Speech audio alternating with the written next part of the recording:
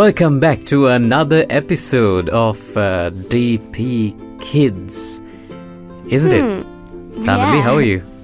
Sanali must be, of course, uh, used to this now, coming to our show and, of course, uh, teaching and learning all of this. Sanali is, of course, here just like everyone else who can come up here representing all of you to become an artistic generation in the future.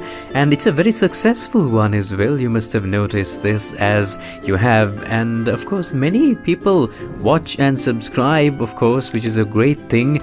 And of course, little children love this, especially because little children are watching us too, yeah? Yeah. My Do friends you- are watching too. Yes, they do watch it as well, quite a lot. And of course, we urge you to keep Teachers sharing too. this. Yes, Yeah. even teachers watch Yeah. it too. Oh, that's nice. That's amazing because they can watch and learn too, and of course, teach it back. Well, with that, uh, it's very important for you to very uh, be very careful and attentive to certain things, and that's why we're here to teach all of you because these tiny things help you become a bigger impact in your drawing. And of course, we're going to draw animals too, and animals require a lot of observation as well. Yeah. Yes. Do you like Yes. little animals? Little rabbits and all, you know? Well, the best part is have you seen uh, these types of animals, of course, that are normally in the mud? Because, see, animals that are in the mud are very Yes. important too. Uh, yes, so what are we going to draw? We'll draw someone that lives in a mud. Someone in the mud. Who is it? Is it a duck? No. Who is it? A pig? A pig, yes, a tiny little pig. We can draw that, of course. And today we'll draw the pig, but of course we'll teach you all of that from the start. Watch Okay. just as I do. Take your platinums out, okay? Yes. Like this, and of course you can watch very carefully to learn. Here's how we're going to draw it. Watch very carefully, yeah? Okay. Yes, we'll draw the eyes first, like this a tiny circle, a bit of a darkness on the outside. Okay, Okay.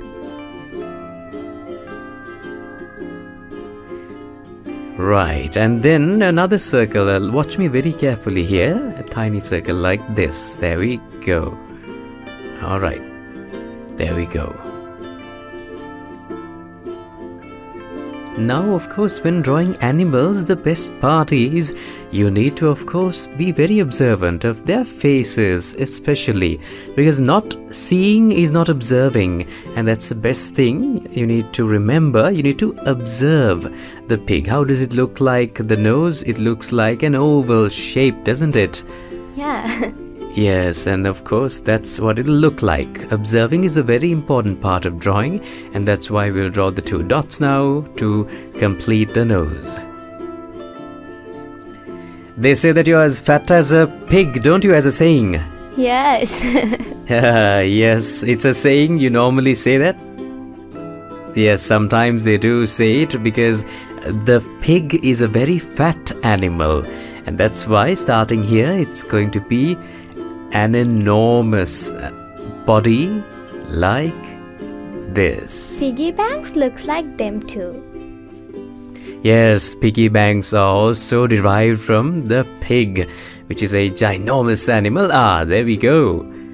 Brilliant, we drew the body, of course. Now, of course, from here we're going to draw the ears, which are slightly smaller, like this. Right? Right. Yes, brilliant. And then another ear, yeah? Yes, from over here, another ear comes up like that.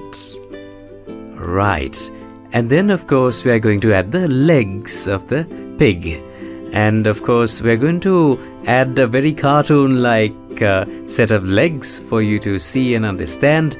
There, like this. Two tiny ones at the end, too.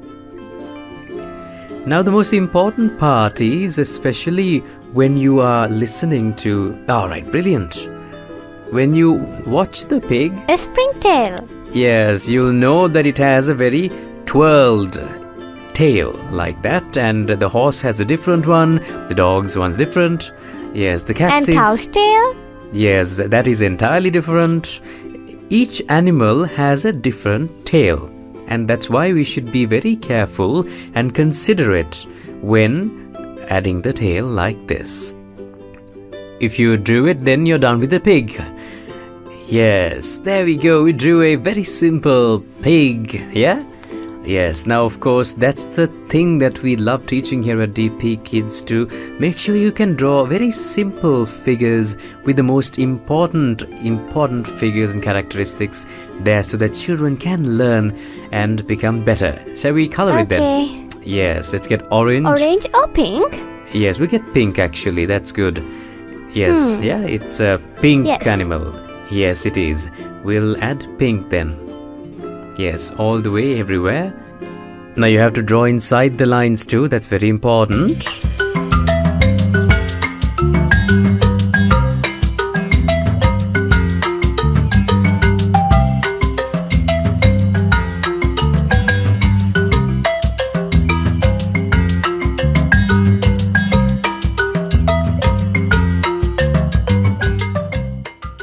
Now we can add from the platinum a bit of more detail right here for the eyes.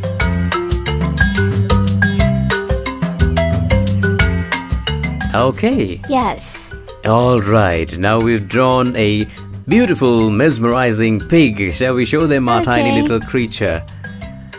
Yeah? Hmm. Yes, of course, we drew this tiny, simple little pig. Now you can draw this from the comfort of your home as well.